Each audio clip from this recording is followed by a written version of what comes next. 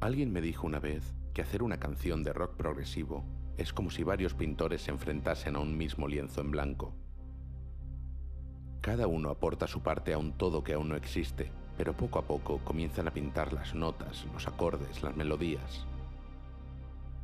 Y es solo cuando esa extraña mezcolanza de colores, trazos, sudor y creatividad está acabada, cuando nosotros podemos disfrutar de un viaje que nos puede llevar un poco más allá de lo que estamos acostumbrados. Y una vez que conoces el camino de ese viaje, nunca quieres volver.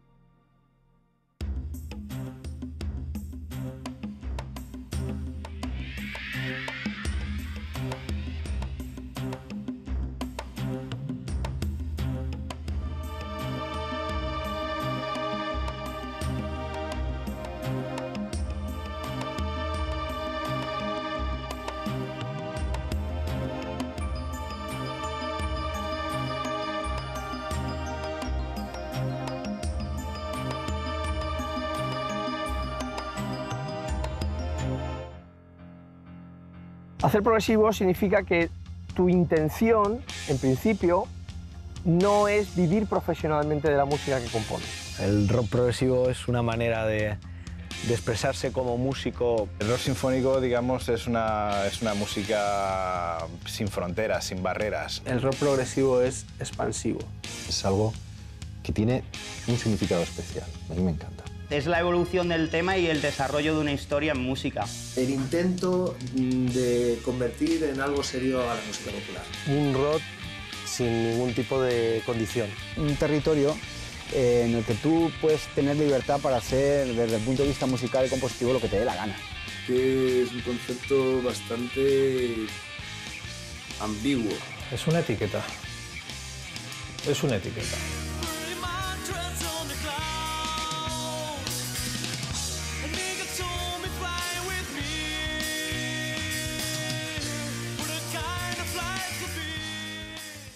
Para mí el rock progresivo, quizá por la influencia de la psicodelia y ese, todo ese, ese marco embriagador de los 70, sí que tiene ese efecto tridimensional, casi calidoscópico. Saber que dentro del rock, de, de, que al principio habíamos conocido, que era el rock eh, básico de tres acordes, podía ir mucho más allá, te sumergías en un mundo de fantasía, de repente, con, eh, con, ya incluso con el muro de Pink Floyd, descubríamos una obra conceptual que te contaba una historia, que narraba una serie de paisajes musicales llenos de imaginación y eso, bueno, pues eh, a mí en, a esa edad, todavía siendo un menor de edad, pues la verdad es que me impactó bastante. Hay trozos que podrían ser jazz perfectamente, hay trozos que podrían ser folk, hay trozos que podrían ser electrónicos, de música electrónica, otro más ambient, hay muchos estilos mezclados. Por eso el rock progresivo es una manera de decirlo, pero es, yo creo que dentro de los estilos del rock es el que más se acerca al jazz. Y se llama progresivo porque no hay otro nombre para... Los matices, exactamente que es una cosa y otra, en Inglaterra sí lo tienen muy asumido, lo del prog y tal, pero en España no ha habido nunca una distinción clara. ¿no? Significa estar eh, al margen de las tendencias comerciales y por tanto significa hacer la música por, por, la música en sí misma. El rock progresivo viene a ser eso, un, una forma en la que no dejas de, de tocar la música de siempre, los, los grandes eh, sonidos del rock clásico, pero intentando llevar el, eh, la faceta un poquito más experimental para que bueno, la música sea mucho más entretenida, principalmente para el músico.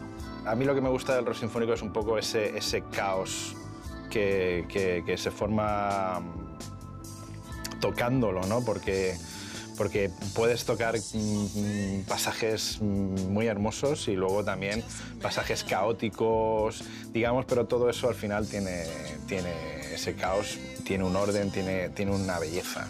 Coges un poquito de aquí de psicodelia, coges un poquito de clásico, coges un poquito de, del rock básico, vamos a llamarle así, coges un poquito de aportaciones o composiciones de diferentes estilos y las metes en una coctelera, lo agitas bien fuerte y te lo ves.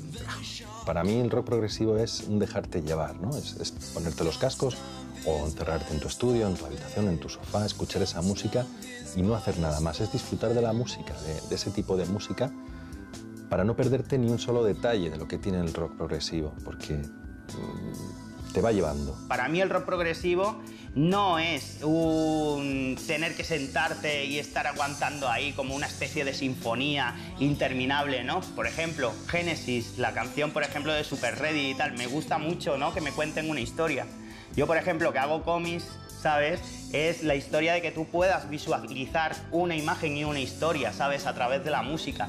De eso se trata. Para mí eso es el rock progresivo. Te permite esa libertad y también eh, no te pone límites, o sea, te, te deja, pues eso, un, un espacio ahí amplio para que tú puedas desarrollar un tema y no te tienes que, como decía antes, limitar a una estructura de dos o tres minutos como en otros tipos de música, como puede ser el pop o eso. Rock eh, sin ataduras, en el que cabe todo. Puede- desde diversos estilos, diversas influencias, eh, diversas eh, estructuras, metrajes. Es que hablar de una estructura típica en el rock sinfónico es hablar de nada, ¿no? Porque tienes desde las estructuras más clásicas, tipo canción, a estructuras seccionales, ¿no? Y a nivel armónico, pues también, es decir, se presta el hecho de que, los temas tengan la libertad en cuanto a sus duraciones, quizá limitadas simplemente por los, los límites que imponen un- en, su, en su momento un vinilo y hoy en día un CD. Evidentemente, pues eso invita a hacer desarrollos armónicos mucho más elaborados. El rock progresivo en España entra, tiene dos, dos zonas fundamentales de, de influencia, dos áreas de influencia en su momento cuando entra, que son Cataluña y Andalucía, ¿no? con dos sesgos muy distintos de entender el rock sinfónico. Uno con una vocación más europea, pero también más local en el sentido de que hay grupos que, que, que cantan en catalán, etc. ¿no? Eh, es el- lo que se llamó el sonido layetano, ¿no? y luego está el, el- el rock, lo que se llama el rock andaluz, ¿no? que tiene una línea también de, de rock progresivo muy importante en toda la área de Andalucía, con ese, esa mezcla con el, con el flamenco, los sonidos fondos y todo esto. ¿De dónde viene el nombre de Numen? Pues numen es un vocablo latino que significa inspiración divina para las artes y viene un poco a reflejar el estilo de, de ver la música del grupo. Un poco dejarnos llevar por, por el momento ¿no? y componer a nuestro, nuestro gusto. Lumen es básicamente pues, pues un grupo de, de cinco amigos de Alicante que un día, hace ya mucho tiempo, se juntaron y empezaron a hacer música. Primero eh, haciendo un homenaje a nuestros ídolos y luego pues intentando hacer canciones propias, que era lo que un poco queríamos hacer. Pero básicamente es eso, es un, un grupo de, de amigos pues, que se embarcaron en un sueño, que quisieron hacerlo realidad y lo hicieron realidad en su escala. Ellos son Víctor Arques, cantante y bajista, Gaspar Martínez a la batería, Manolo Más al teclado y Antonio Valiente a la guitarra.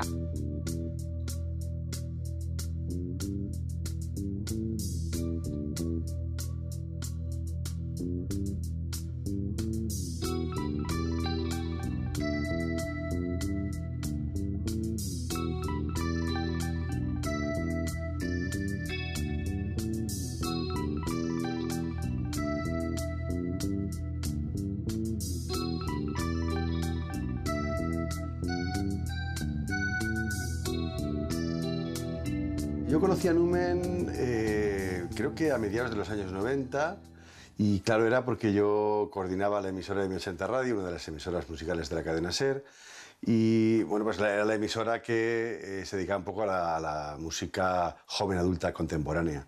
Entonces yo ahí realizaba mi programa Sinfonía en Rock Mayor, que era un programa de rock creo, bueno, creo, no estoy seguro de que era el, el único programa de rock local que había en Alicante, en una emisora fuerte, como era M80 Radio.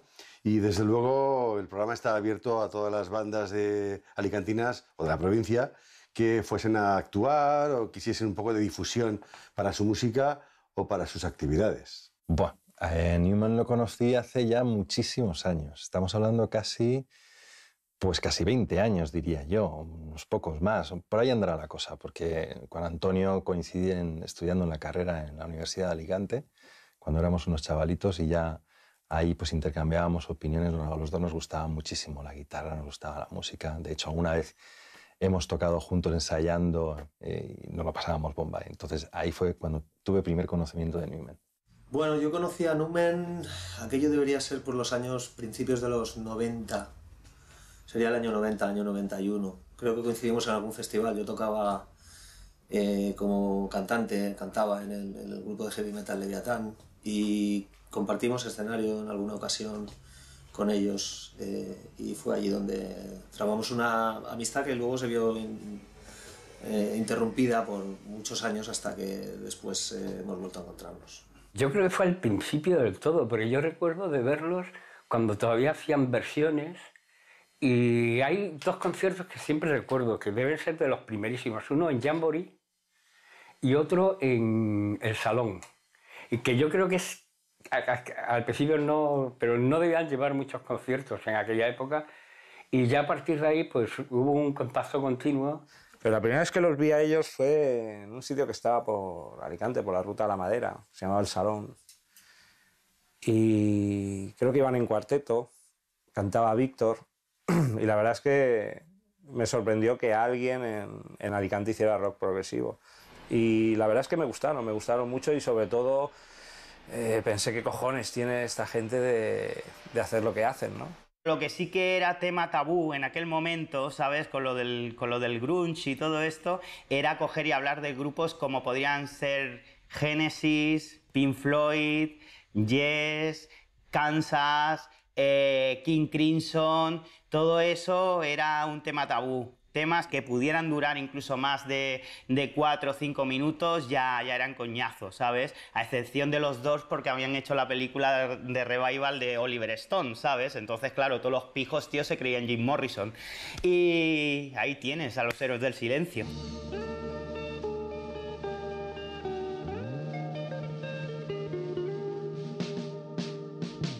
Al principio empezamos haciendo principalmente versiones y las versiones iban desde clásicos del rock y gente como Deep Purple, Jimi Hendrix, Beatles, hasta algunos temas un poco más progresivos, que era donde empezaban a salir nuestras influencias. Eh, un tema clásico en nuestros conciertos desde el principio fue el Shine On You Crazy Diamond de Pink Floyd.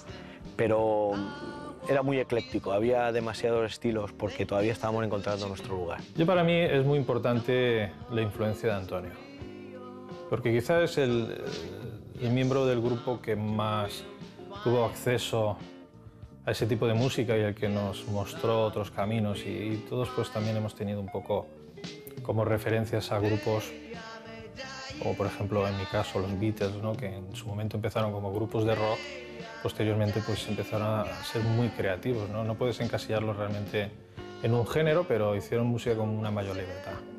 Y yo creo que la, la libertad esa que, que, tuvo en su momento el, pues eso, el poder hacer algo, o lo que ahora se llama rock progresivo, rock sinfónico, pues a nosotros nos estimuló, nos estimuló mucho. Vamos aprendiendo un poco a tocar y a, y a encontrarnos cómodos eh, juntos como grupo. Y, cuando empezamos a decidir que el siguiente paso debe ser canciones propias. Entonces, en un primer momento es cierto que eh, tomamos las ideas del, del, rock clásico y del blues, pero enseguida empiezan a aflorar eh, todas esas eh, sonoridades que, que, nos gustaban tanto en, en, esos grupos. Componíamos entre todos, la verdad es que, claro, teniendo en cuenta un poco el papel que teníamos cada uno en el grupo, pues había gente, pues a lo mejor que aportaban más ideas armónicas, otros aportaban ide ideas melódicas a la hora de tratar las, las, melodías de las letras de los temas.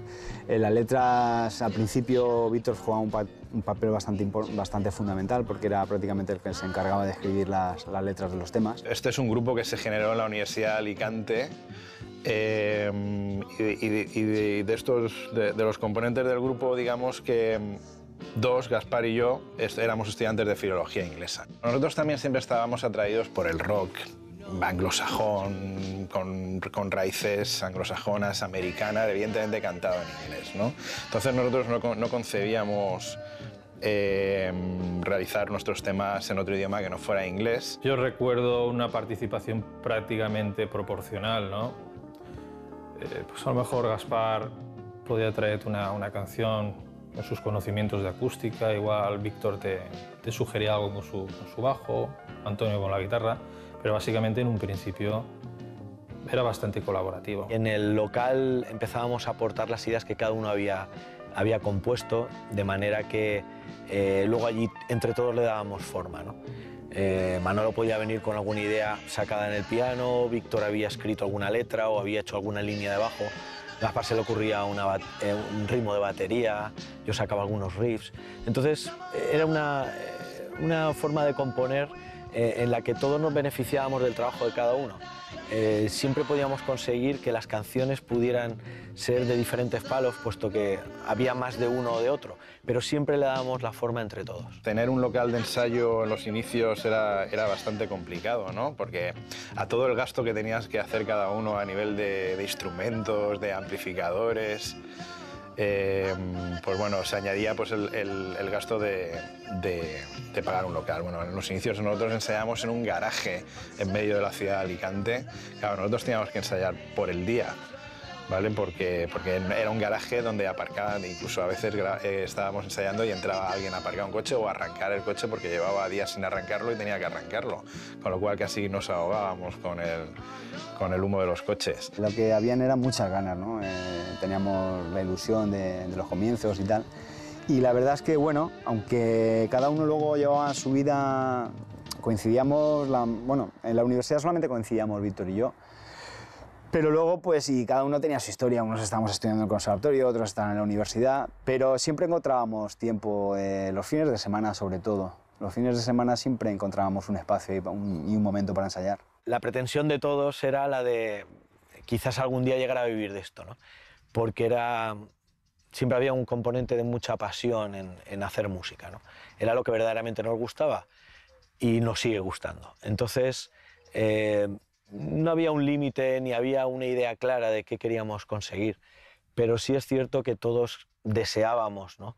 en menor o mayor medida, el poder eh, dedicar nuestro tiempo eh, de manera eh, en la que otros pues, están trabajando en una oficina o hacen cualquier otro tipo de trabajo, pues que, que nuestro trabajo fuese lo más asociado a la música. Poder tocar por ahí en directo y pasarlo bien, la verdad. Cuando ya llevamos un tiempo tocando, pues ya pensamos en, en, pues eso, en dejar un poco, que quedara un poco constancia de lo que, de lo que, de lo que estábamos haciendo. Y ya pues pensamos en grabar un, un primer CD para darnos a conocer y, y, siempre siendo realistas, porque sabíamos que estamos haciendo un, un estilo de música que no era para una gran mayoría, era más bien minoritario, pues intentan, intentar darnos a conocer y que, y que pudiéramos seguir con nuestra trayectoria.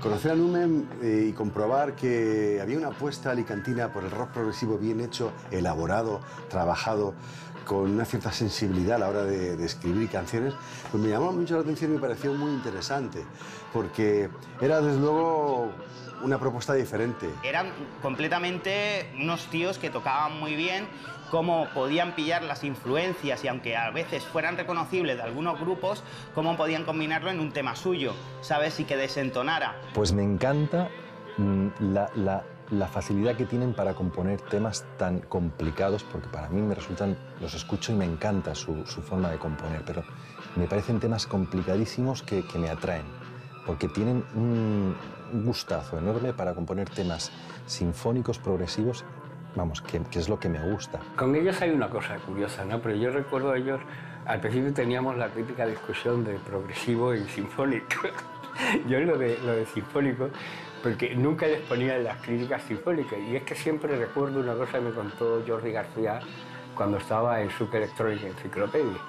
Dice, no, por favor, no pongas rock sinfónico porque me suena sinfónico.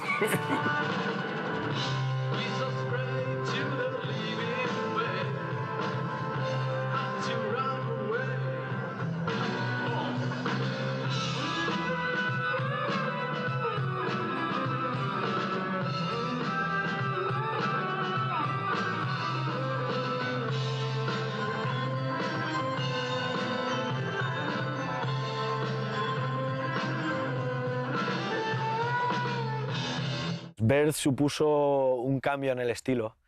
Fue, eh, llegó el momento de, digamos, de hacernos mayores y, y empezar a componer de manera más arriesgada, más seria. Como su propio nombre indica, fue digamos, el, el- el nacimiento digamos, de- del, del grupo en su género, ¿no? en su género sinfónico progresivo. La grabación se hizo en Siete Aguas, en Valencia.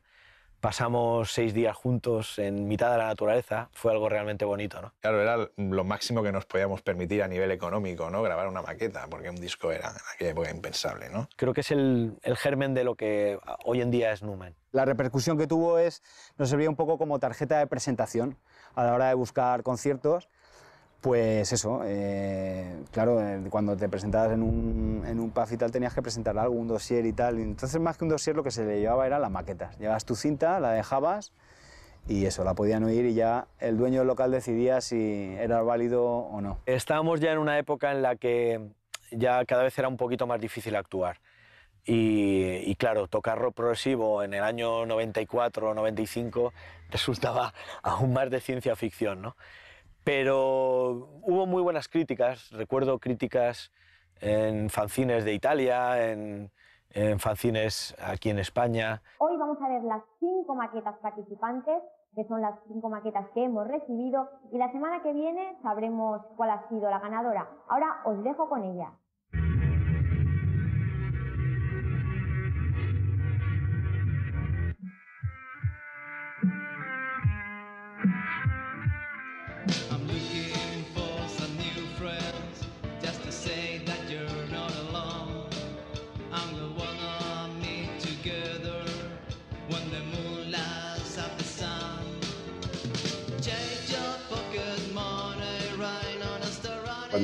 Muere el pop de los años 60 y empiezan los 70, hay un gran despiste. De repente, eh, en el 69 empiezan a aparecer grupos como hemos mencionado, King Crimson, incluso Led Zeppelin, y comenzamos a ver que, es un, que, que han llevado el rock a, a un nivel mucho más complejo. Aquí en España no se sabe todavía cómo afrontar eso, porque no hay una tradición de rock, los grupos de pop desaparecen, grupos estilo Beatles desaparecen, y hasta bien entrado el 75-77 no empezamos a ver grupos que ya han aprendido el lenguaje musical y han aprendido a escribir canciones y a crear rock. Nunca ha habido una tradición de, de- progresivo, porque en España siempre mm, ha dado miedo a, a todo lo que, lo que sea ruptura, pero en todo, en la música, en política y todo, o sea, eh, todo es muy convencional. Y en música tienen que ser canciones de tres minutos eh, con mm, eh, estribillo can- que se pueda cantar. Pero eso hasta, hasta los grupos de rock, que los grupos de rock que han triunfado son los que tienen estribillos. Cada música cuando se compone, cada música cuando se produce, estás sometida a las condiciones materiales de la existencia de la gente y a las condiciones materiales de la industria a la que pertenece. ¿no? Y en este caso es difícil que el rock sinfónico pueda ser consumido por muchísimas personas cuando el vaivén de la vida de ahora impide el modo de escucha que pretende el rock sinfónico. Yo creo que cada vez somos menos los músicos que nos dedicamos a lo que más nos gusta, ¿no? que cada vez hay más bandas que se dedican o que se decantan por el lado comercial, que a lo mejor eso es lo que les gusta y no lo critico, porque hay muchas bandas que lo hacen muy bien. Pero mm, conozco pocos músicos que realmente les guste componer lo que les gusta componer. Nunca ha sido fácil, ¿no? Eh, hacer rock progresivo en los 90 pues era bastante difícil, estabas nadando contra corriente. No, no había una moda que, que surgiese en ese momento que empujase a, los grupos a, a apuntarse a ese estilo. La noche invitaba a escuchar buena música. Los Bluenáticos, Buen Bajío, José Campaña, Numen y Rudy Katkin representaban diversas opciones musicales que iban del rock al blues pasando por las fusiones flamencas. He aquí imágenes de una muestra de la actuación de Numen. En los años 90 había en Alicante varias salas para tocar, que, eran- que tenían una continuidad durante varios años. Estoy pensando, por ejemplo, en el Jamboree, estoy pensando en la tercera ola, en, en Desafinado, estoy pensando en Desdén. Eran cuatro de las salas más importantes que había. También en la Ruta de la Madera estaba el Salón o el Puerta de Hierro en el barrio. Eran lugares donde se podía tocar con relativa asiduidad. ¿no? Sin embargo, ahora las, eh, las salas, por ejemplo, en Alicante son, bueno, tenemos eh, la sala estéreo y poco más en Alicante para tocar, ¿no? Eso se debe un poco a las restricciones legales del- de los ayuntamientos que no permiten que se desarrolle la industria del entretenimiento de una escena local musical como, como debiera desarrollarse, ¿no? Alicante especialmente tampoco es que fuese una ciudad con mucha tradición de música en directo. La- sí que es cierto que existían muchos grupos ¿eh? y de todos los estilos en, en los años 90. Pero bueno, a pesar de todo eso, pues nosotros nos buscamos la vidilla y, sí que teníamos más o menos, dentro, entre comillas, una regularidad y una cierta frecuencia a la hora de tocar en directo. En aquel entonces había un buen número de bandas y había un buen número también de, de locales. Había un buen número de locales que aceptaban, no, no había tanto problema para, para tocar. Ahora me parece que hay muchos más problemas a nivel de cuestiones de sonido, de decibelios, etcétera, ¿no? Pero entonces sí que había un cierto circuito. Eso no quiere decir que fuera fácil acceder a él. Los grupos que éramos de provincias en la a finales de los 80, principios de los 90, eh, lo teníamos difícil, especialmente si estábamos en una comunidad que no se había preocupado eh, para la potenciación de, esas, ese tipo de cosas. ¿no? Es verdad que al principio, los años 80, a principios de los años 80, había una clara centralidad, había un claro centralismo en Madrid. Eh, pero los sucesivos reconocimientos de las autonomías ¿no? de cada una de las, de las, de las comunidades permitieron una serie de políticas públicas que estaban orientadas a defender las diferentes peculiaridades territoriales en el ámbito musical en España. Pero es verdad también que ciertas comunidades lo hicieron con una conciencia clarísima de la identidad de esa comunidad y otras no lo hicieron. El caso de la comunidad valenciana es un caso palpable donde hasta no hace demasiado tiempo no ha habido políticas culturales que estuvieran, eh, eh, que estuvieran eh, relacionadas con el impulso de los grupos locales. ¿no? Esto es evidente. Sin embargo, pues Cataluña, el País Vasco, incluso Andalucía, Galicia ha tenido en ese sentido algunas políticas más acertadas que las nuestras. Tenías un grupete, tocabas y te conocían los amigos. Eh, conseguir conciertos sí que era más fácil, ¿no? Porque, bueno, te movías en tu ámbito cercano y te era fácil tocar en sitios, pero era difícil darse a conocer. No, sé que se- fuera realmente bueno aquí en Alicante, te hablo de Alicante, ¿vale? Porque en los inicios nos movíamos siempre en Alicante. Si no salías fuera, no te ibas a Madrid, o te ibas a Barcelona, o te ibas a Bilbao, o te ibas a, a una ciudad importante, culturalmente importante, no tenías ninguna, ninguna, ninguna salida.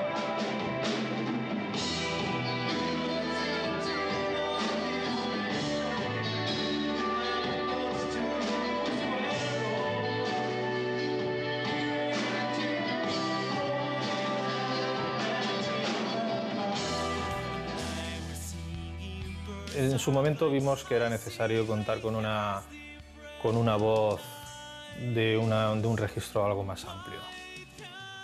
Y también una, un complemento, no es un complemento, una ayuda, digamos, a- al mismo Víctor como bajista, ¿no? para que pudiera centrarse más en otras tareas. Yo estaba haciendo en ese entonces coros en un grupo que se llamaba La Partida. Eh, y por ese amigo común me dijeron de probar. Primero fue a, a conocer a, a- a la gente, claro, porque al margen de, de musicalmente como fueran, yo quería encajar como, como persona, ya que profesional- profesionalmente no se podía esperar nada en esos entonces. Nos dimos cuenta que a la vez que estábamos dando un paso importante a nivel musical, eh, queríamos darlo a nivel eh, músicos, ¿no? no solo en cuanto a las canciones, sino a lo que podíamos dar cada uno de nosotros. Entonces, eh, Víctor podía centrarse más en el bajo, escribir letras y en hacer coros, y buscar un frontman, alguien que, que tuviese la, posibilidad de estar ahí más delante del, eh, del, del grupo para, para llevar la voz un poquito más allá. Digamos que necesitábamos una persona, un cantante con un registro mucho más amplio, ¿no? que pudiera, pudiera mm, llegar pues, a una serie de agudos que, bueno, pues yo por, por- por- por mi voz no podía llegar y nosotros queríamos, queríamos pues, alcanzar ese registro. Repercutió positivamente, evidentemente.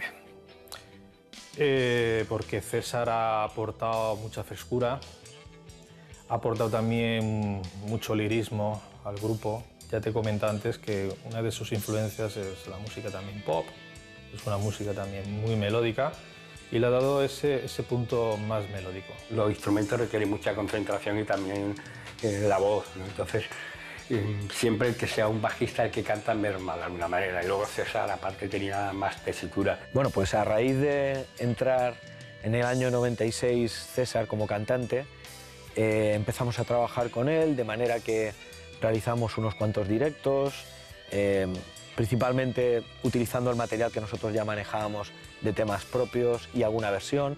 César también aportó las versiones que él eh, quería interpretar en directo y le gustaba. Y todo eso nos fue llevando a, a preparar de manera ya mucho más seria, el, eh, después de haber hecho dos maquetas, el, el concepto de vamos a dar un salto grabando un CD. Bueno, Sansara se empezó a gestar en realidad antes de que yo eh, eh, empezara con Numen. De hecho, eh, hay, eh, son tres temas, creo que son. Tres temas eh, en los que yo no estuve en la composición. Ah, eh, hice unos arreglos que variaban un poco la melodía que ya tenía compuesta Víctor. Y cuando entré yo en el, en el grupo, pues eh, empezaron a, a gestionarse diversas ideas. Bueno, de esas hay muchas, que muchas se quedan en el camino, otras se guardan en el cajón del ya veremos. Sansara eh, se, se concibió como álbum en el momento que, que hubo un material, material para hacer realmente un álbum. Fue una cuestión simplemente de tiempo. Se gestó todo entre los ensayos que hicimos en el año 97. eh, estuvimos preparando a conciencia esa grabación y en el 98 salió editado el disco. Fue la consecuencia en sí lógica de, de- de un recorrido iniciado con la maqueta de Birth y con la incorporación, incorporación de, de César.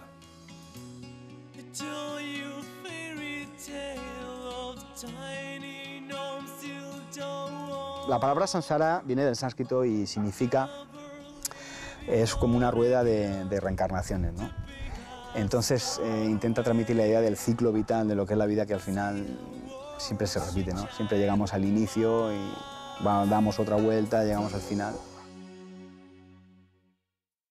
Me llama la atención el, el concepto del disco, ¿no? Que es muy de volver a los años 70, al concepto aquel de, de disco conceptual, pero conceptual en todo. Eh, A, nivel de música, de- del libreto que le acompañaba, o sea, todo, todo tenía una relación. O sea, tú ves el, el- el libreto sin escuchar el disco y ya te haces una idea de lo que puedes escuchar. Y si no has visto el libreto y escuchas la música, cuando ves el libreto está- es perfecto, o perfectamente relacionado. Es importante el tema de la imagen y la ilustración. La ilustración en, los 70, todo el concepto de la imagen era muy potente y evidentemente la, portada de, un disco nos dice mucho de su interior. Por eso se han utilizado tantas ilustraciones, sobre todo con la técnica del aerógrafo, de los colores muy, vivos, muy, muy hiperrealistas, también jugando con la fantasía. El disco conceptual o el concepto dentro de un disco gira en torno a una idea en la que todas las canciones deben de llevar una dinámica que le den un todo al disco, como, como obra completa. ¿no? Para mí un disco conceptual es... eh, tiene que ser un conjunto de, temas eh, que tengan pues, un poco un leitmotiv, un hilo conductor, que tengan una cohesión y que te estén contando una historia, ¿no? El trabajo en la portada, las fotografías del interior, el, eh, el- los títulos de las canciones y la música, pues afrontamos eh, Samsara como un concepto en el que queríamos hablar sobre el ser humano. Yo no lo veo como un disco conceptual. Y argumento esto, no puede ser un disco conceptual cuando es un disco que es la consecuencia de un camino evolutivo de dos o tres años. No, no nos habíamos cuestionado a dos o tres años anteriormente la, la creación de, de canciones con un, un hilo argumental. ¿no? Entonces, se vendió en ese momento porque sí, se podía vender como una temática muy general, pero no es un disco conceptual. La grabación se hizo en los estudios Sacramento de Alicante. Eh, principalmente eh, estuvimos entre noviembre y diciembre del año 97 haciendo esas grabaciones. Con inquietud, con ansiedad, pues por, por, por, por ese enfrentamiento, con ese gran reto que era grabar ese disco. Y, mm, pero bueno, al mismo tiempo también con ilusión y con, y con, alegría y, bueno, sabiendo que pues, era un reto para nosotros y que, y que queríamos que quedara lo mejor posible. La grabación de Sansara fue una grabación, eh, fue intensa, intensa y fue muy, pero también muy satisfactoria, ¿no? No teníamos mucho tiempo, la verdad es que eh, nos costó, ¿no? Nos costó desde todos los puntos, ¿no? Desde el punto de vista económico, desde el punto de vista también de, coordinación y tal. Para mí fue un, un placer, porque entrar, es la primera vez que entraba en un estudio totalmente profesional en Sacramento, con la producción de Dani, Daniel Saiz. Y claro, escuchar por primera vez los temas con esa claridad que se logra en el estudio es algo novedoso y gratificante. El directo tiene la magia de la fuerza un poco y el estudio es la, la claridad. Y, y nada, fue un, un subidón cada día que íbamos a grabar. Fue el primer disco que hicimos y evidentemente pues con un grado de excitación, entusiasmo. Se prolongó quizá para mí por las circunstancias, ¿no? En demasía, puesto que la, grabación no fue continuada, sino que se llevó a lo largo de varios meses. Pero fue una experiencia que había que pasar, a mí me pareció interesante, me aportó lo que me tenía que aportar y la verdad es que cuando la escucho, la escucho con cariño y, y sabiendo que fue lo mejor que podíamos hacer en aquel momento. Y creo que, que dentro de lo que cabe es un disco que, vamos, que puede pasar con una cierta nota. Atención a este nombre, Numen, cinco jóvenes que presentan su último trabajo, Samsara, un compacto que ve la luz después de un recorrido por la música de cinco años. El disco ya está a la venta y será una sorpresa para todos los que se imaginan que para hacer buena música hay que salir fuera de nuestra frontera. Yo creo que Sansara tiene las virtudes y las deficiencias de los principios de los años 90.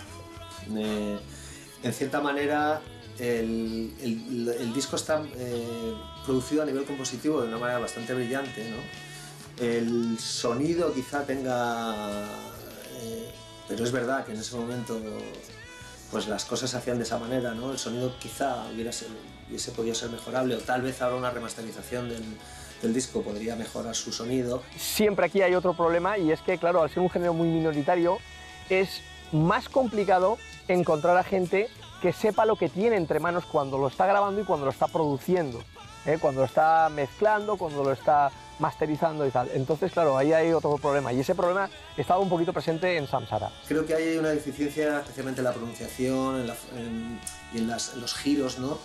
Que, por las que se hace difícil a veces que un grupo de rock sinfónico en castellano, o sea, perdón, en español, pueda triunfar en el, en el ámbito internacional. Y mucho más en el ámbito del rock progresivo, donde la limpieza en la manera de cantar es, es fundamental.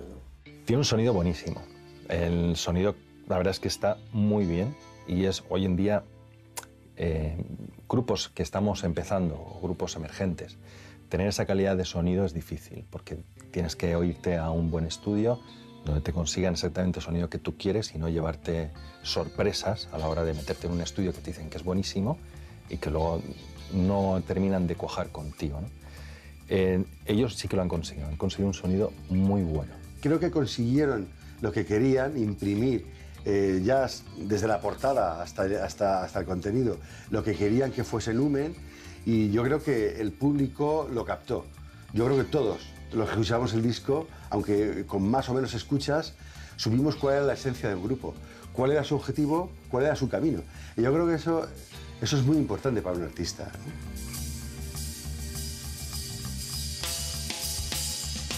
Pues el disco, eh, se hizo, mm, si mal no recuerdo, creo que se hizo una primera edición 500 copias, se vendieron, luego se hicieron 500 más. Y como eran los principios de Internet y todo eso, recuerdo que el único que tenía Internet en casa era Manolo. Empezamos a contactar con, con otros países y tal, tiendas especializadas y tal, y se llegó a vender en cifras muy pequeñas, evidentemente, que no son significativas, pero el disco se vendió en, en los sitios más recónditos que te puedas imaginar, Nueva Zelanda, en Tokio, en Japón, en Sudamérica, varios países, Estados Unidos, bastante países, países europeos. Dimos un poquito la nota en algunos foros. En aquel entonces ya empezó a, a- surgió internet y ya empezó empezamos a utilizar ese canal de comunicación para ponernos eh, precisamente en eso, en, en contacto con otros, con foros internacionales. Por supuesto, intentar eh, llevar a cabo, si se pudiera, una, eh, una segunda grabación, una gira, el tener continuidad, eh, poder eh, obtener una distribuidora, una discográfica que nos apoyase y, y luego pues eh, participar en festivales propios del género donde poder ir haciéndonos un hueco. Y bien, y fuimos un fenómeno que creo que en su momento fue anecdótico. Bien, fue curioso, fue simpático para mucha gente y de hecho el disco, pues dentro de unas cantidades muy modestas, ajustadas a nuestra, a nuestra realidad, se vendió bien.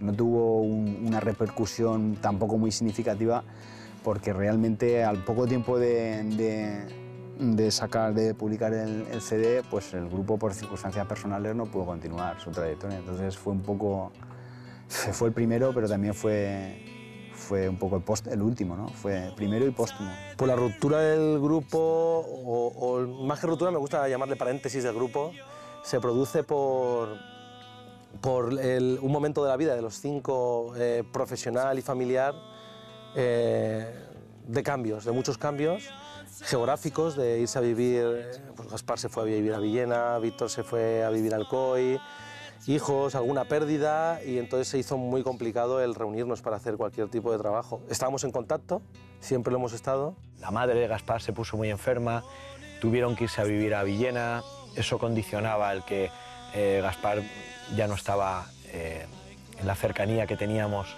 durante todos estos años para poder seguir componiendo, eh, ensayando y buscando conciertos para actuar.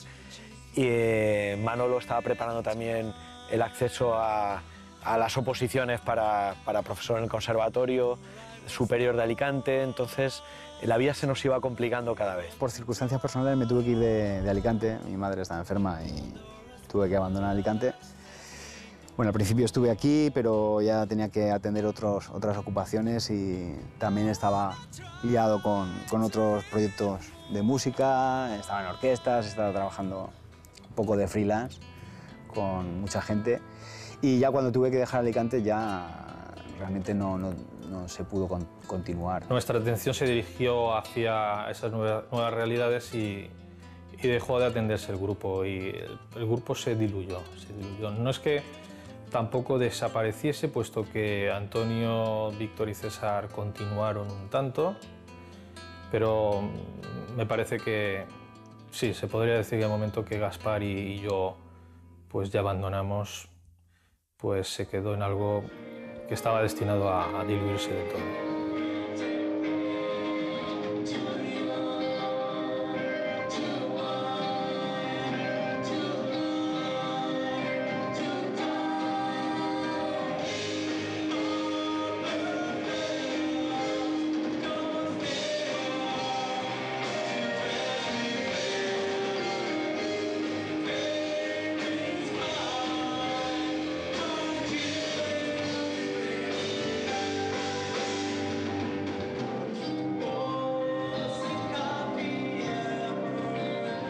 Yo creo que no, no hay que ver si un género está bien o está mal. Yo creo que lo que debería dedicarse todo, todo músico que quiera sacar disco es a sacar un buen disco. Da igual que sea de rock progresivo, de pop, de soul, de blues, de lo que sea. Creo que, como todos los estilos, mm, lo- todos los estilos que son ricos, compositivamente, armónicamente, yo creo que nunca morirán. Y yo creo que hay que preocuparse es de sacar buenos discos y, y ya está. Y no preocuparse mucho por cómo está la situación del estilo ni cómo está la situación discográfica, porque todos sabemos cómo está. La industria del disco ha sido nefasta, nefasta. Y luego es que encima mm, hay mucha gente de los que empezaron con en pequeños sellos independientes que iban de muy progres y en el momento que entraron entre las multinacionales se comportaron bastante peor que los anteriores. O sea, en los últimos años el control ha sido mucho peor y más salvaje. Las discográficas prácticamente se han quedado reducidas a la mínima expresión y promotores de conciertos, pues ha habido muchos que se han arruinado y otros que han seguido ahí, pero hay una gran parte de ellos que han dejado el negocio porque han visto peligrar el- su, su- su- su patrimonio Las discográficas a día de hoy eh, a no ser que sea un producto muy establecido, normalmente o no hacen nada o lo que quieren es tener el proyecto ya hecho y lo que se dedican ellos a distribuirlo normalmente. Estamos ante una nueva realidad que se llama Internet. Eh, no puedes poner puertas al campo y la información va, va a circular, por mucho que pongas leyes y por mucho que pongas a la policía siguiéndote, ¿no? Eso sí, y el negocio discográfico tiene que cambiar, porque morirá. Y no hay que verlo como algo negativo, es la vida, la evolución, da pasos y te tienes que adaptar. La industria del disco, al primero que estafaba era al músico, no solo al público. Por eso, claro, lo que pasa es que el público también tiene que ser consciente de que el músico hace un trabajo. ¿Cómo conciliar eso? Es muy difícil y es muy difícil por culpa precisamente de la industria del disco. Eh, Porque la gente, la idea es que el músico es millonario. A ver, no, el que se hace millonario eran los intermediarios y desgraciadamente un músico normalmente eh, pues tenía de un disco se llevaba un 5 o un 6%. Eh, esto no- pero no además del precio de venta al público, sino de venta mayorista, que esto no lo sabe la gente. Creo que Operación Triunfo hizo- hizo muchísimo daño a este país y creo que lo ha hecho en toda Europa con, con este programa, porque en cierta manera, por un lado, solamente supo sacar una serie de músicos o una serie de, artistas que estaban, que fueran muy conformes a las exigencias de una industria que estaba pensando en determinados géneros y estilos muy particulares y que por lo tanto aparecían todos los que ganaban o todos los que finalmente triunfaban, entre comillas, estaban tremendamente estandarizados.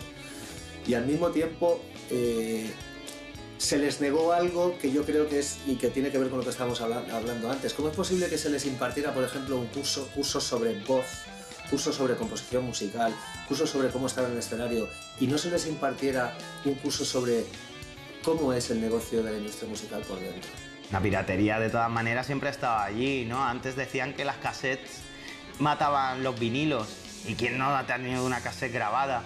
¿Sabes? Eh, de todas maneras yo siempre grababa el, el disco, lo escuchaba y luego cuando tenía dinero lo compraba. La cuestión es siempre lo mismo, ¿sabes? Que dicen que la piratería es perniciosa, pero yo creo que es mucho más pernicioso el 21% abusivo que nos ponen de impuesto de lujo para comprar un artículo, ¿sabes? Si tú te cargas la cultura, te estás cargando la riqueza de un país. Aquí la gente solo se pone la mano cuando está ya la burbuja inmobiliaria, ¿sabes? Pero bueno, se olvidan de todo, ¿sabes? Con las corridas de toros y el fútbol. Son, eh, no, no hemos evolucionado mucho desde Franco, ¿eh? La entrada de Internet y de las descargas digitales, como se sabe y es una obviedad ya, ha revolucionado completamente el panorama. ¿no? Esto no significa que... a veces tenemos una idea distorsionada de lo que está sucediendo porque España, al ser uno de los mayores descargadores ilegales de, de música, eh, parece que eso está eh, em, influyendo en el negocio mundial de la misma forma que influye en España, no es verdad. En el, negocio mundial todavía las cifras dan unas buenas cifras de ventas de CDs y de, y de, vinilos. Hay un medio de comunicación que funciona así desde, desde prácticamente desde que se inventó, que es la radio. La radio no, no te cobra por, por funcionar, utiliza unos medios de financiación como es la publicidad e Internet es una, una forma de radio, es decir, lo que tú tienes que hacer es facilitar la información gratuita y tienes que valerte de, de apoyos mediante publicidad, sponsorización. Al final yo creo que la gente tiene que tomar conciencia de que si no pagamos algo por la música, eh, no se va a seguir haciendo música. De hecho, estamos comprobando que muchos artistas hacen gira tras gira, tras gira, tras gira, pero no nos regalan un nuevo disco.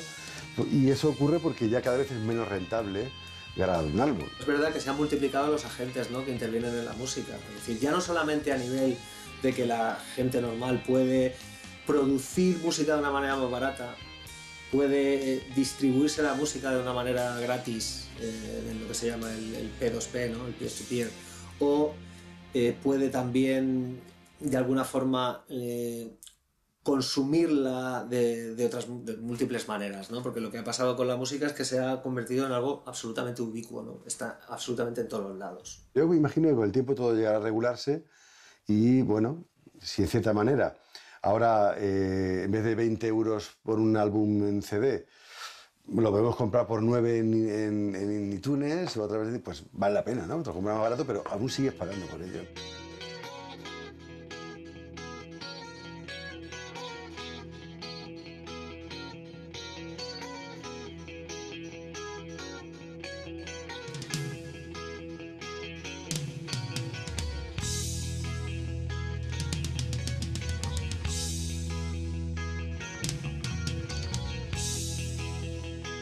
A mí Internet me parece un arma bestial, ¿sabes? Para promocionarse y todo. El tema está en que al ser tan bestia, está hasta el alcance de todo el mundo, no es todo tan masivo que yo no sé por dónde empezar. Es un medio bastante democrático y es algo en el que aún no, no puede meterse nadie en tu casa y decir lo que tienes que o no tienes que poner. ¿Sabes? Te censuran de alguna manera, pero desde luego tardan un tiempo. Tu mensaje lo puedes, lo puedes difun- difundir y puede llegar a bastante gente. Para darte a conocer es súper bueno, buenísimo, porque bandas que antes, donde no estaba internet, querían darse a conocer y si no era por su zona o la ciudad donde vivían, difícilmente podían llegar a 100 kilómetros más lejos, ¿no? Ahora hoy en día, no, hoy en día estamos aquí en Alicante y te conocen en Los Ángeles, te conocen en Rusia o en la India o en Australia, porque estás a un segundo de, de poder enviar un tema a un sitio y que te puedan escuchar allí. Yo no soy de los que piensa, por ejemplo, que los nuevos medios tecnológicos de distribución de la información son simplemente medios neutros. ¿no? Es decir, cualquier medio tiene una base ideológica por detrás. La cuestión es que si... Es decir, hay algo profundamente perverso en la cuestión que tiene que ver con los medios, con, con las nuevas redes sociales, en el hecho de que, por ejemplo, los, las nuevas formas de, de llegar a los grupos en algunas ocasiones o de seleccionar los grupos para determinados festivales o para determinados premios, etcétera, va en función de los clics del me gusta no me gusta. También es el peligro que tiene Internet, que te puedas encontrar tu música para cosas que no tenías tú previstas ni, ni conocimiento. ¿no? Entonces, si po- ponemos una balanza los pros y los contras, yo indicaría siempre que, que me inclino por el pro, ¿vale? Porque te da a conocer muy rápido, muy lejos y, creo que es un, una- un arma y una herramienta muy buena para el músico. Antes era como más el boca a boca, más como que lo bueno como que pasaba de boca en boca y verdaderamente lo bueno se quedaba, lo otro ya como que se dispersaba. Ahora hay muchos intereses creados y no sabes muy bien qué creerte. Cuando te ponen medio millón de discos vendidos, sabes que no es verdad. Si, si estás un poco metido dentro de la movida, sabes que no es verdad. Es, un arma promocional para que el que vaya a la tienda dice, si este tío ha vendido medio millón de discos, tiene que ser bueno, y no es así.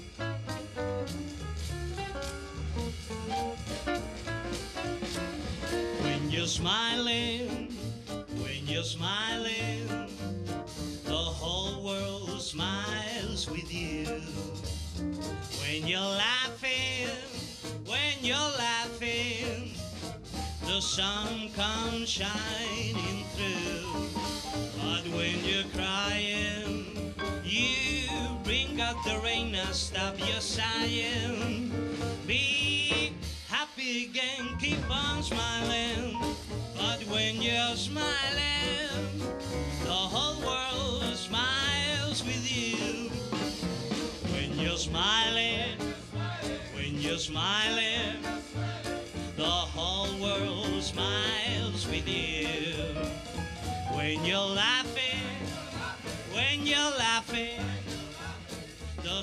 He seguido ligado al tema de la música, eh, bien dando clases de guitarra y, y actuando con varias formaciones, principalmente de grupos de versiones, por lo que comentábamos antes de que eh, el tema en cuanto a actuar pues era eh, algo bastante acotado a únicamente eh, formaciones de ese, de ese tipo. ¿no? Entonces he estado en varios proyectos musicales a nivel de, versiones, actuando pues regularmente, eh, prácticamente todos los años. Yo como profesor pues de, de la especialidad de composición aquí en el Conservatorio de Alicante, pues evidentemente ha pasado por ahí. Y básicamente mi profesión como compositor, aparte de docente, pues se ha dedicado especialmente a música de, de género sinfónico.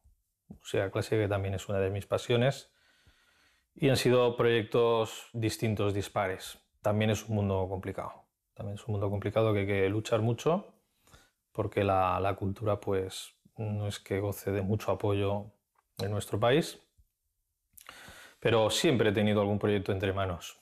He estado en proyectos, pero no como no, no liderando siendo parte integrante del grupo sino como más bien como ya te decía como freelance como acompañando no entonces yo qué sé he hecho de todo. Estuve haciendo conciertos con un grupo también de aquí de Alicante que tuvo más o menos un poco de repercusión en 40 principales se Alea, se llamaban Alea.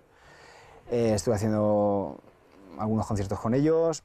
Estuve también haciendo algún concierto con otro grupo de, mm, de Viena, estuve tocando con grupos de jazz. No solamente como estudiante aprendes, sino luego como docente es que sigues aprendiendo, entonces te vas enriqueciendo. La, la palabra sería te vas enriqueciendo. A veces conoces, sabes más, aprendes más y quieres utilizarlo, evidentemente. Entonces, mi trabajo me ha estado continuamente alimentando en ese sentido. Y será así hasta que yo deje de dedicarme a esto.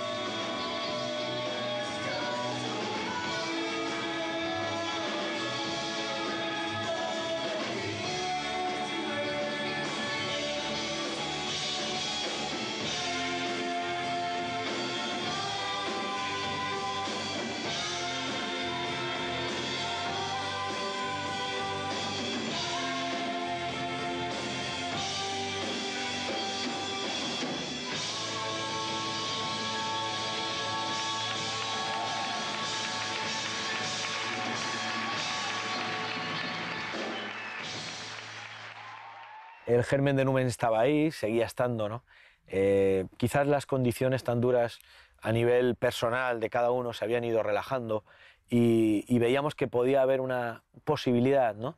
De intentar cuadrar el tiempo que tuviese cada uno para, para poder llevar a, cabo un proyecto que nos quitase ese mal sabor de boca, ¿no? De no haber podido hacer algo más después del, del primer disco. El primer intento de volvernos a juntar fue en el 2005, pero eh, había muchos, muchas, muchas cuestiones personales, cada, cada uno sus problemas personales, que hacían imposible el que nos volviéramos a juntar. Habían algunas composiciones buenas del grupo que no habíamos incluido en el, en el Samsara, eh, que creíamos que debían de estar grabadas porque realmente son temas que nos gustan y, y que pensamos que, que merece la pena que estén en un disco. Hace tres años conseguimos pues, eh, estructurar un plan de, de trabajo para intentar volver a, a realizar un proyecto. Este reencuentro surgió porque teníamos ganas de encontrarnos otra vez, ¿no?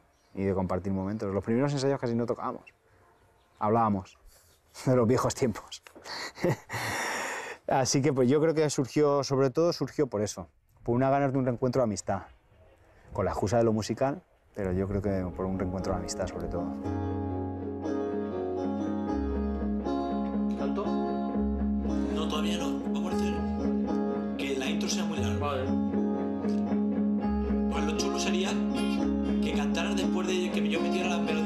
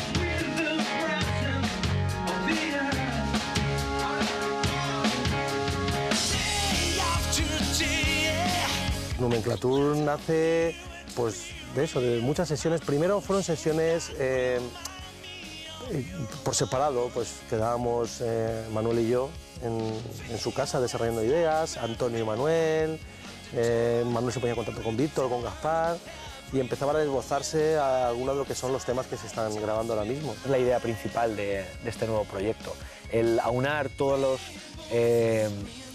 la, herencia de, de los detalles que Numen tenía ya como banda de rock progresivo y sumarle esa evolución que los cinco hemos tenido a lo largo de los años, eh, pues sumando eh, sonidos que vienen propiamente del rock clásico.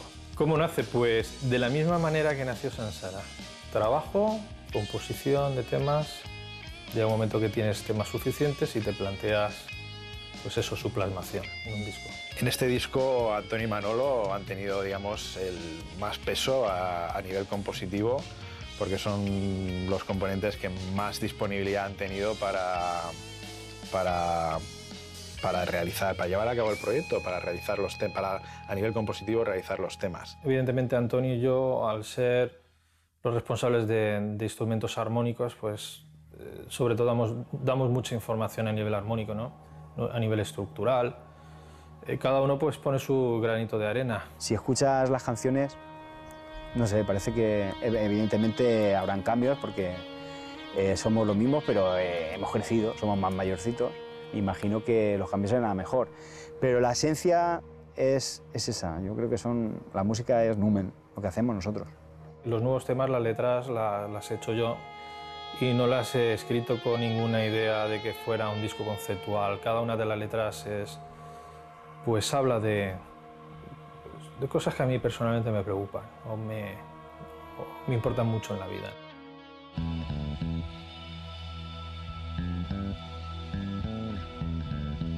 Colin Gray.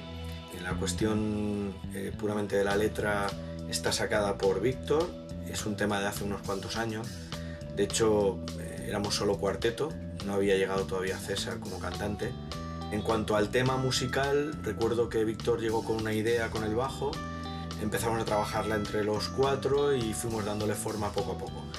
Y decidimos incluirlo en el disco porque era un tema que nos encantaba y realmente eh, pensábamos que tenía eh, suficiente fuerza además para abrir el disco. Me enfrento de diferente manera como si me enfrentara a otro tipo de grupo del mismo estilo, porque en el sonido todo afecta. Los músicos, los instrumentos, el estudio, el ingeniero, los aparatos. Y son todo muchas variables que en momento cambia alguna, cambia todas.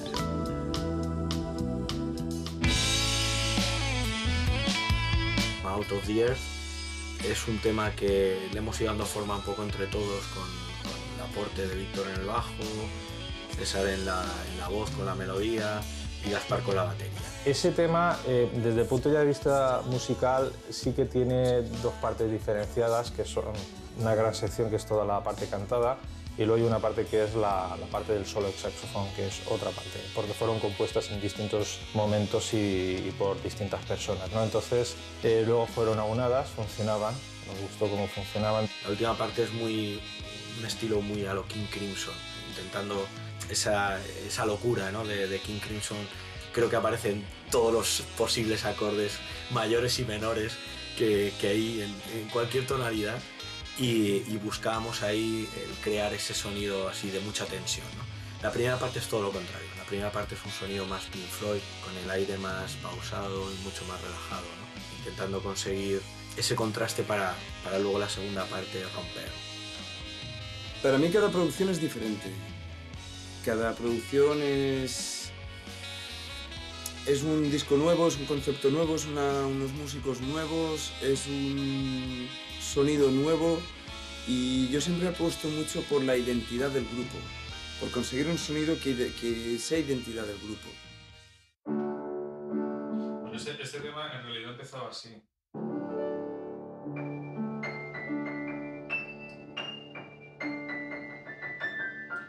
Se me, había ocurrido que el tema empezara con una, una especie de colchón, empezando con un instrumento que soleara, plan, sitar, pero bueno, eso no se llevaba a cabo.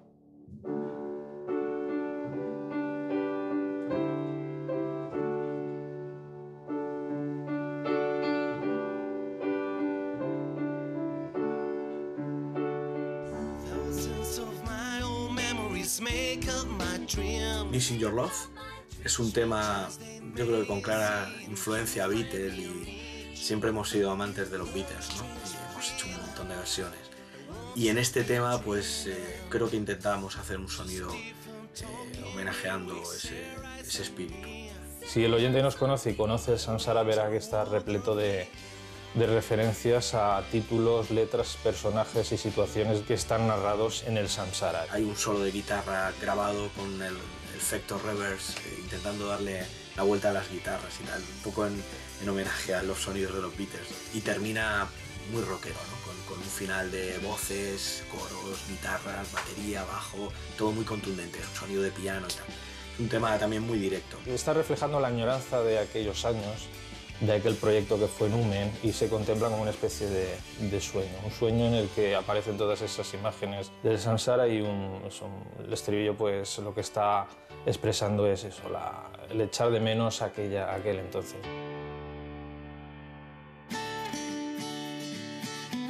La música para mí es algo que podría calificar como algo imprescindible. O sea, yo no podría imaginarme nada sin música. Mm, absolutamente nada. De hecho, mm, yo creo que tengo música en la mente las 24 horas. No sé si soñando, a veces creo que también. Es una experiencia personal.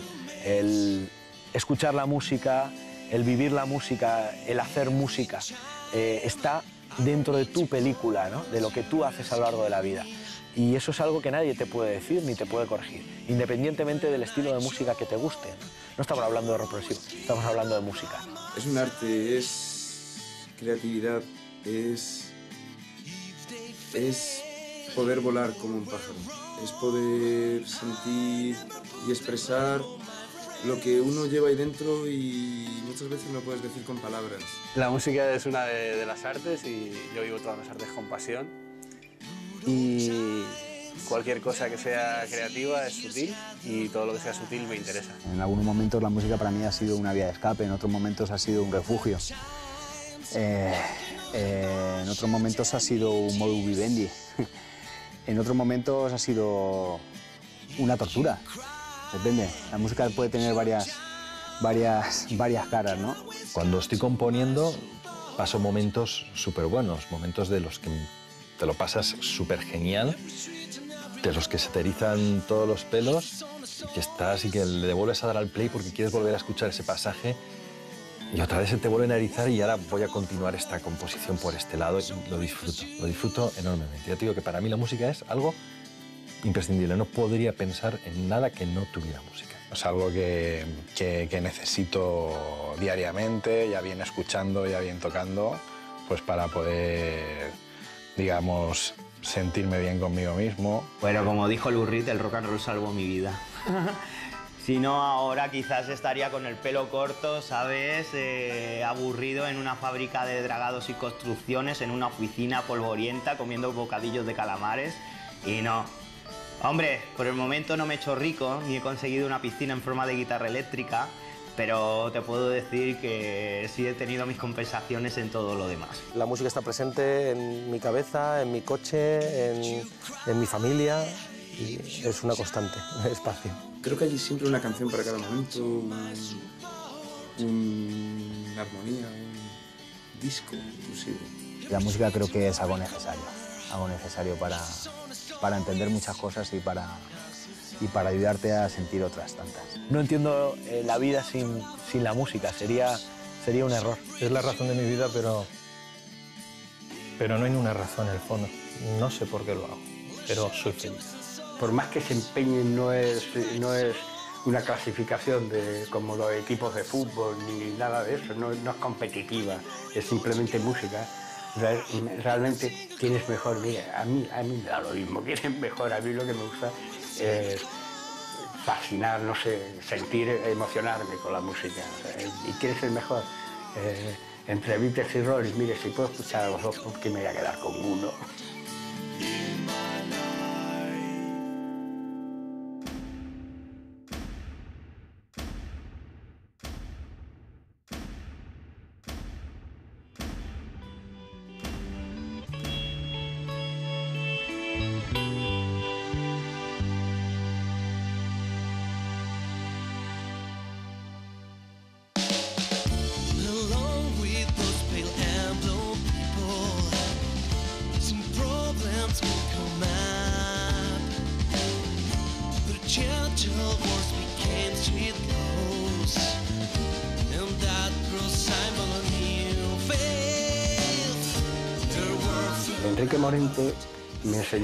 Carta que le había enviado un cantador de flamenco japonés para pedirle permiso a ponerse de nombre artístico Morente del Sol Naciente.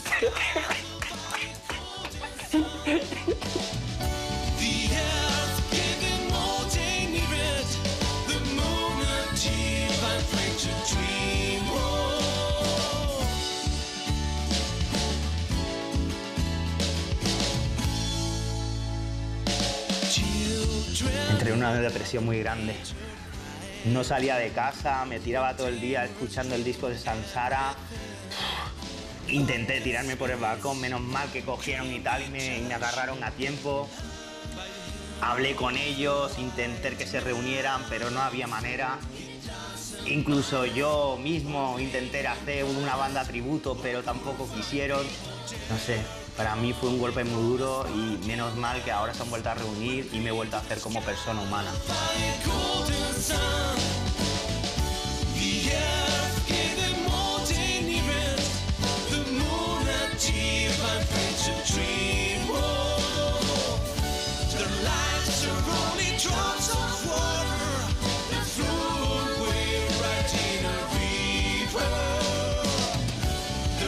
Después de dos cervezas es más fácil contestar.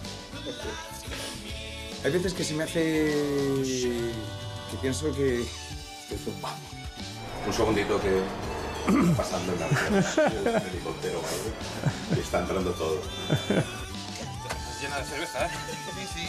Cervecita fresca. Son cajas y cajas. Ya está.